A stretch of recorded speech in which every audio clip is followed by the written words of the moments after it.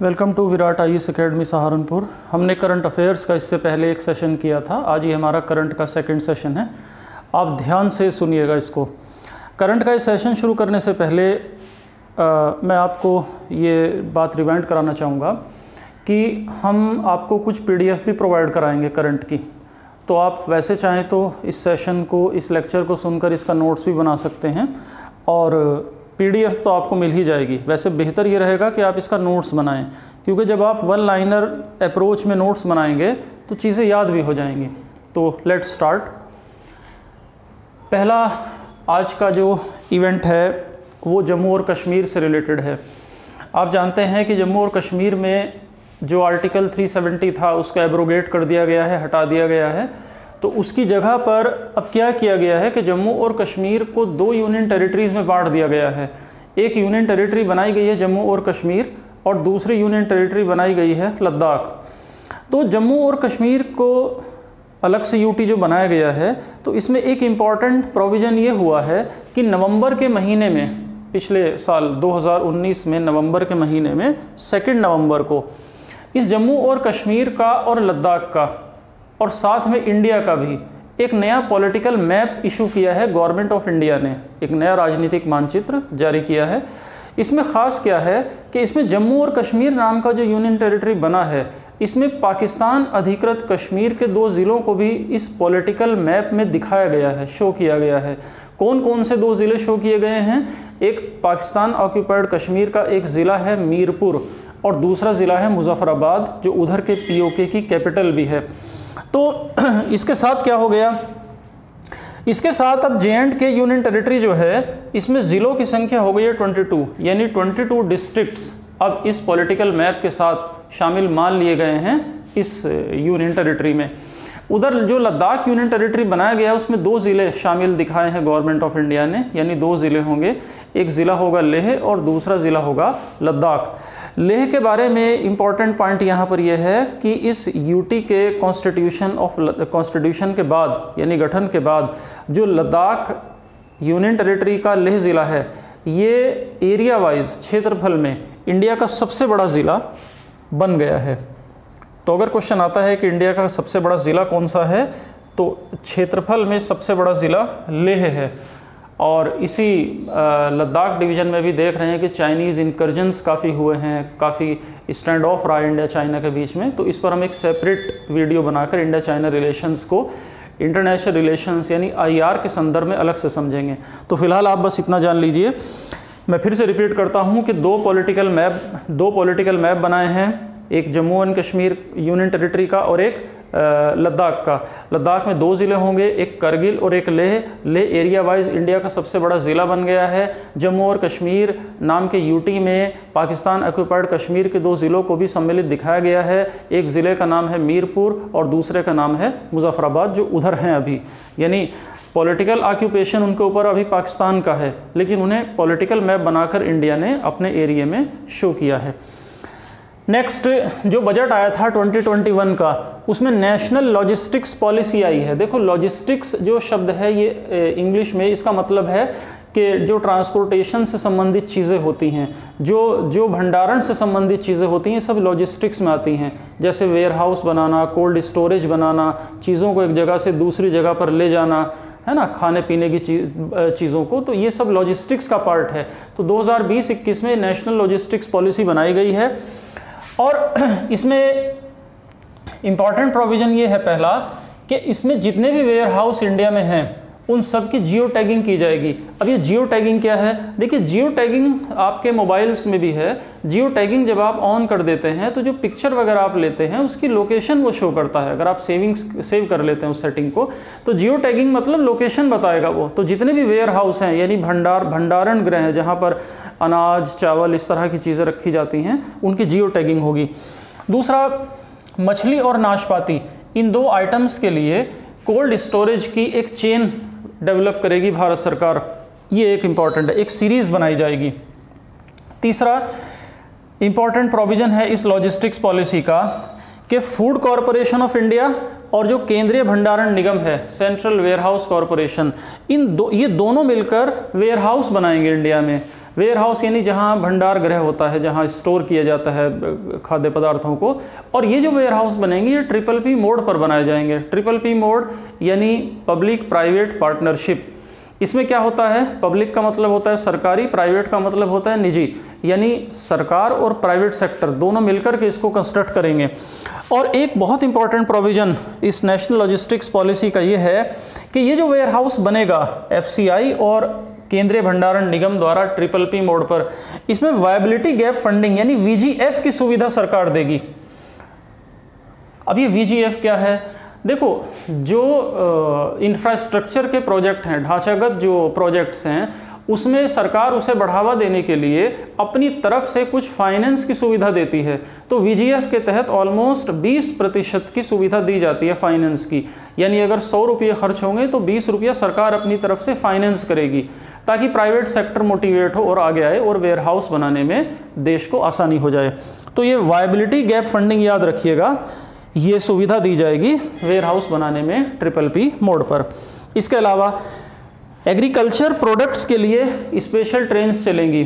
जिनका नाम होगा कृषि ट्रेन, एग्रीकल्चरल ट्रेन, और ये भी ट्रिपल पी मोड में चलेंगी। आजकल तो वैसे भी आप देख ही रहे हैं कि जितना भी रेलवे है, वो धीरे धीरे प्राइवेटाइज कुछ चीज़ें उसमें की जा रही हैं। तो एग्रीकल्चर ट्रेन भी ट्रिपल पी मोड, यानी पब्लिक प्राइवेट पार्टनरशिप मोड में रन होंगी। नेक्स्ट इसी नेशनल लॉजिस्टिक पॉलिसी का एक पार्ट है कि ऐसे आइटम्स जो पेरिशेबल आइटम है पेरिशेबल यानी जो जल्दी सड़ जाते हैं तो जल्दी सड़ जाने वाले आइटम्स के लिए एक स्पेशल स्कीम लॉन्च की जा रही है, जिसका नाम है कृषि उड़ान योजना। तो कृषि उड़ान योजना उन आइटम्स के लिए है जो जल्दी ख़राब हो जाते हैं। तो ऐसे फ़ूड आइटम्स को देश के फार फ्लंग एरियाज़ में ले जाने के लिए, दूर दराज के क्षेत्रों में ले जाने के लिए ये बाई एयर एक प्लान बनाया गया है गवर्नमेंट ऑफ़ इंडिया के द्वारा। अब इसमें क्या होगा? देखो, इसका लाभ मिलेगा स्पेशली दो दो तरह के जो बेल्ट्स हैं। एक तो जो ट्राइबल बेल्ट्स हैं देश की, उनको जो आदिवासी दूर दराज के क्षेत्रों में रहते हैं, वो इसका लाभ मिलेगा। और दूसरा जो नॉर्थ ईस्ट का इलाका है भारत का तो इन दो एरियाज़ को स्पेसिफिकली इसका एडवांटेज मिलने जा रहा है कृषि उड़ान योजना का। याद रखिएगा। नेक्स्ट जो जैविक उत्पाद हैं, जैविक उत्पादों को भी बढ़ावा देना इस पॉलिसी का पार्ट है। और इसके लिए एक नेशनल ई जैविक बाज़ार भी विकसित किया जाएगा, ऐसी भी भारत सरकार की योजना है। तो ये सारे कंपोनेंट्स जो हमने डिस्कस किए हैं, ये फ़िल्टर मटेरियल है नेशनल लॉजिस्टिक पॉलिसी का तो आप इन पॉइंट्स को रट लीजिए, ठीक है? इसमें से ये काफ़ी इंपॉर्टेंट पॉलिसी है। इसके बाद हमारा इशू है, जिसका संबंध है आंध्र प्रदेश से।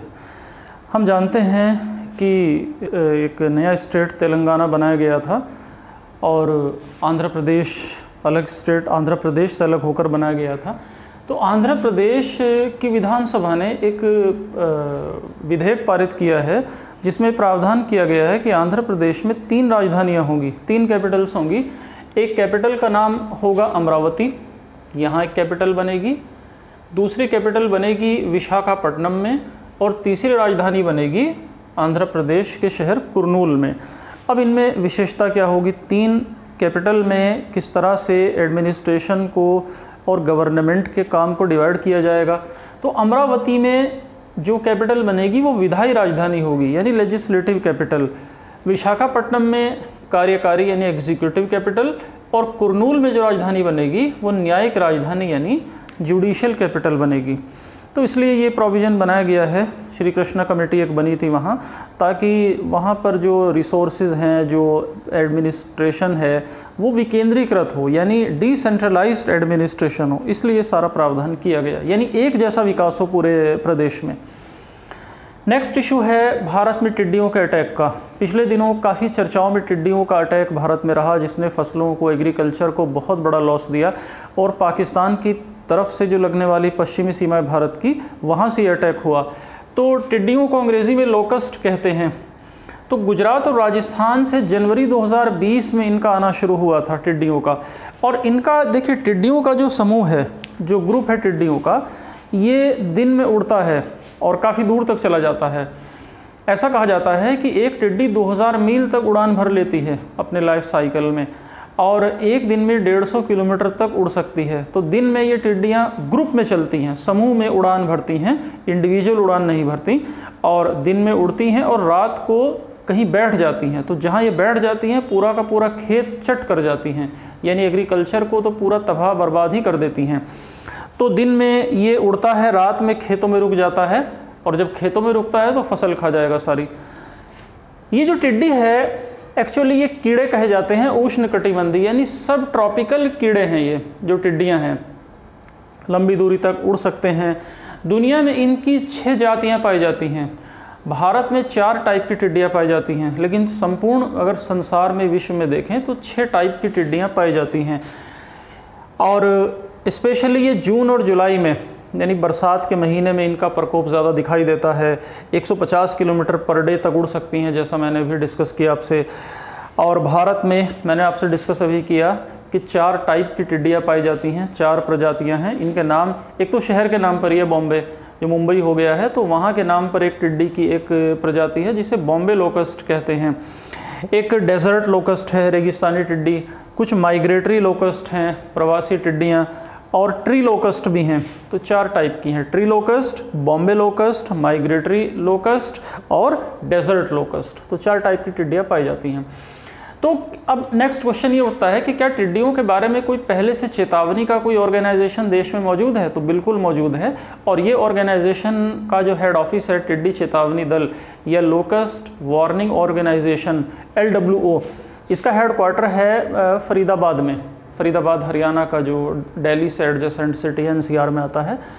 और ये जो टिड्डी चेतावनी संगठन है, लोकस्ट वार्निंग ऑर्गेनाइजेशन है, ये मिनिस्ट्री ऑफ़ एग्रीकल्चर में आता है। कृषि एवं किसान कल्याण मंत्रालय के अंडर में काम करता है और जिस ऑर्गेना, जिस कृषि मंत्रालय के, जिस विभाग के अंडर में काम करता है, जिस निदेशालय के अंडर में काम करता है, उस विभाग का नाम है, निदेशालय का नाम है वनस्पति संरक्षण संगरोध एवं संग्रह निदेशालय। इंग्लिश में बोलेंगे directorate of plant protection quarantine and storage. तो ये एक डायरेक्टरेट है जो एग्रीकल्चर मिनिस्ट्री के अंडर में आता है और इसी के अंडर में फरीदाबाद स्थित ये लोकस्ट वार्निंग ऑर्गेनाइजेशन आता है। नेक्स्ट हमारा इशू है करंट अफेयर्स में, जिसका संबंध है राम मंदिर प्रकरण से। आप लोग जानते हैं कि 9 नवंबर 2019 को सुप्रीम कोर्ट ने राम मंदिर निर्माण के पक्ष में फैसला दिया। तो इसमें कुछ पॉइंट्स बनते हैं एग्ज़ाम के रिलेटेड, एग्ज़ाम से संबंधित। एक तो सुप्रीम कोर्ट ने कहा कि राम मंदिर निर्माण के लिए एक ट्रस्ट बनेगा और इस ट्रस्ट का जो नाम रखा गया है, वो नाम इंपॉर्टेंट है। इसका नाम है श्री राम जन्मभूमि तीर्थ क्षेत्र। श्री राम जन्मभूमि तीर्थ क्षेत्र, ये इस ट्रस्ट का नाम है। सेकंड इंपॉर्टेंट पॉइंट है कि इसमें पंद्रह मेंबर्स होंगे फिफ्टीन मेंबर्स इसमें रखे जाएँगे और इन पंद्रह जो ट्रस्ट मेंबर्स होंगे, इसमें ये शर्त बनाई गई है कि एक ट्रस्टी का, एक मेंबर का दलित होना अनिवार्य है, यानी एससी कैटेगरी से होना अनिवार्य होगा। इसके अतिरिक्त जो लैंड दी जाएगी मंदिर बनाने के लिए, वो 67 एकड़ लैंड मंदिर बनाने के लिए दी जाएगी। और जो मस्जिद बनाने के लिए ज़मीन दी जाएगी, उसका भी प्रोविज़न इस जजमेंट में सुप्रीम कोर्ट ने रखा है। तो मस्जिद बनाने के लिए पाँच एकड़ ज़मीन दी जाएगी। यानी मंदिर बनाने के लिए लैंड दी जाएगी 67 एकड़ और मस्जिद निर्माण के लिए पाँच एकड़। इसके अलावा एक इंपॉर्टेंट पॉइंट ये भी है कि गवर्नमेंट की इसमें कोई रोल नहीं होगा। इस राम मंदिर के निर्माण में गवर्नमेंट का कोई रोल नहीं होगा। गवर्नमेंट सिर्फ़ एक काम किया है गवर्नमेंट ने कि एक रुपये का एक टोकन एक सिंबॉलिक ग्रांट दी है। जिसे आप चंदा कह सकते हैं। एक रुपये का सांकेतिक एक ग्रांट अनुदान दे दिया है सरकार ने, केंद्र सरकार ने। इसके अलावा इसमें सरकार का कोई रोल नहीं होगा।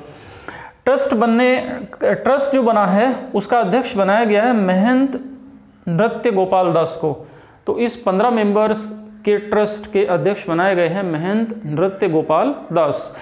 और एक और इंपॉर्टेंट पॉइंट है जो काइंड ऑफ़ अगर नहीं भी डिस्कस करेंगे तो कॉमन सेंस से भी आप इस ऑप्शन को लगा सकते हैं कि ट्रस्ट के सभी मेंबर्स का हिंदू धर्म से होना कंपलसरी बनाया गया है, अनिवार्य बनाया गया है।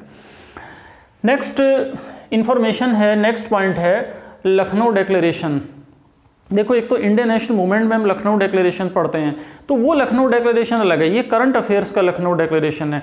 अभी आप लोग ने न्यूज़पेपर में पढ़ा होगा कि लखनऊ में डिफेंस एक्सपो हुआ था, यानी रक्षा प्रदर्शनी टाइप एक आयोजन हुआ था लखनऊ में, जिसका नाम था डिफेंस एक्सपो 2020 तो उसी डिफेंस एक्सपो में अफ्रीका के कुछ देशों के साथ इंडियन गवर्नमेंट की मीटिंग हुई थी, और अफ्रीका के देशों का रिप्रेजेंटेशन किया था वहाँ के रक्षा मंत्रियों ने।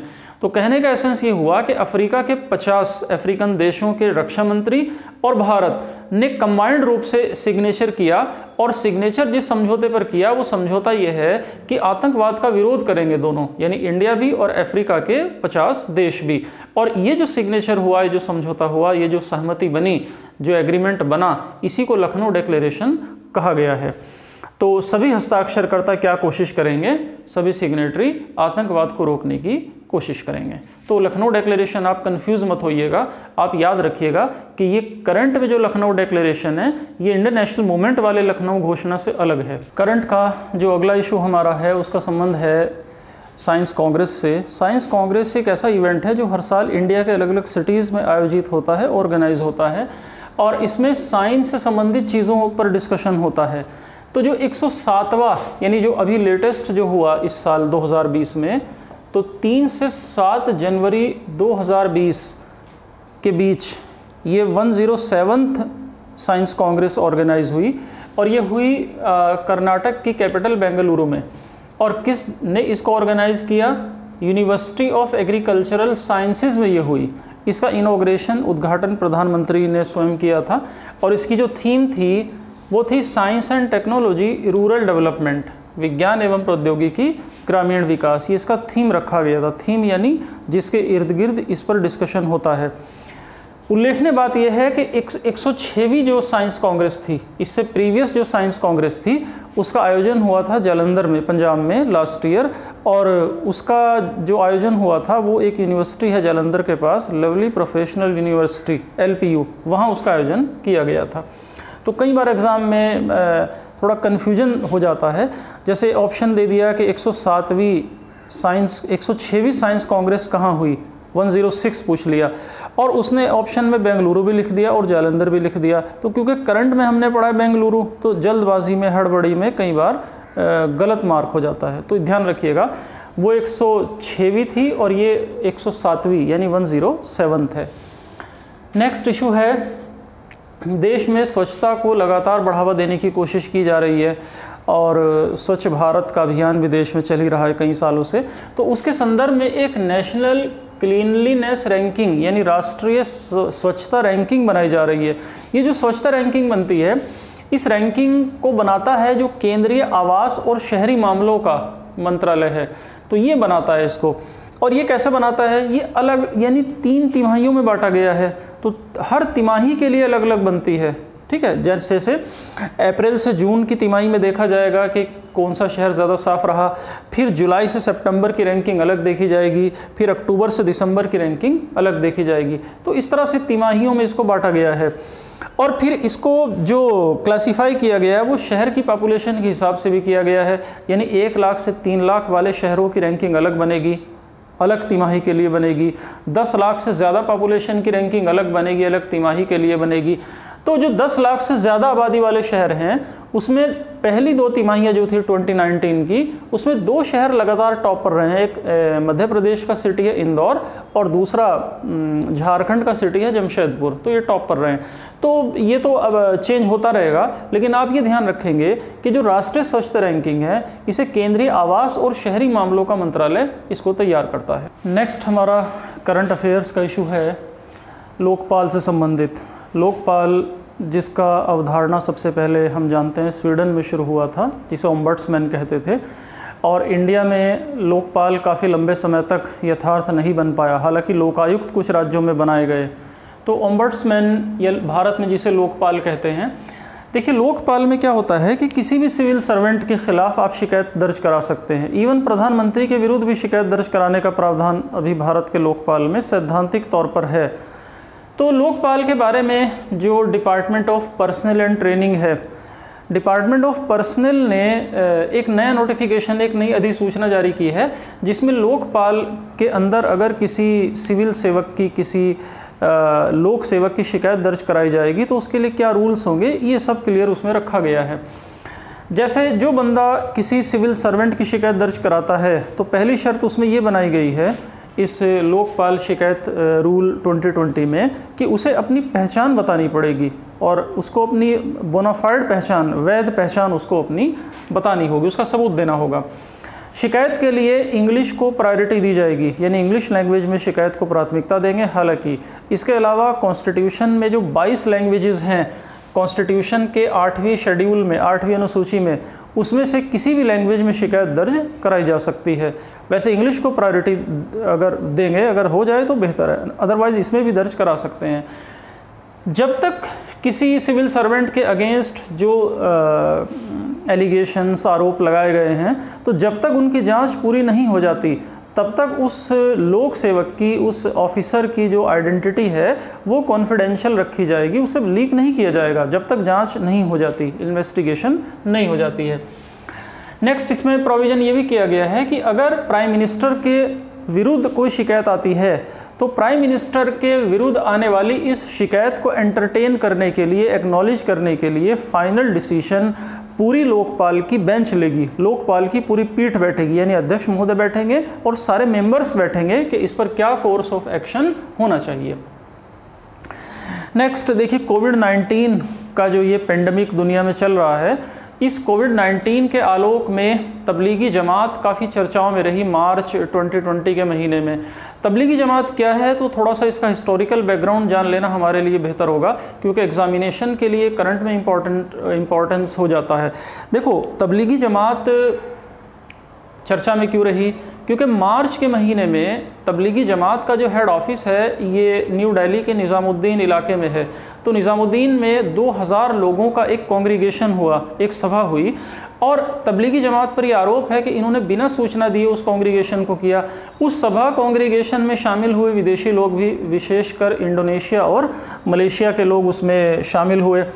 तो वहाँ से काफ़ी चर्चाओं में और विवादों में ये तबलीगी जमात आ गई। तो तबलीगी जमात है क्या? देखिए, तबलीगी जमात इस्लाम धर्म की देवबंदी विचारधारा को अपनाने वाला, मानने वाला एक संगठन है। और ये एक धार्मिक पुनरुत्थानवादी एक संगठन है।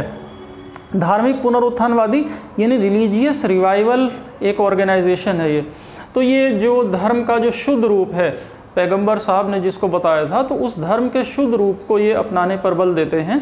तबलीगी जमात का शाब्दिक अर्थ क्या है? इसका शाब्दिक अर्थ है धर्म का प्रचार करने वाले लोगों का संगठन। जमात कहते हैं ऑर्गेनाइजेशन को और तबलीग कहते हैं धर्म प्रचार को तो तबलीगी जमात का शाब्दिक अर्थ हुआ धर, धर्म प्रचारकों की सोसाइटी।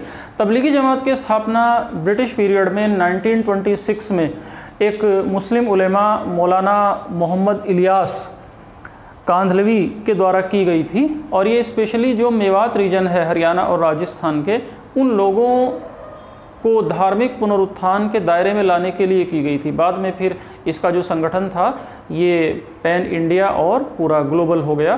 तो ये इसका थोड़ा सा एक बैकग्राउंड है। तो करंट में आज के लिए इतना ही। नेक्स्ट सेशन इसके बाद फिर शुरू करेंगे। Thank you. Thank you very much.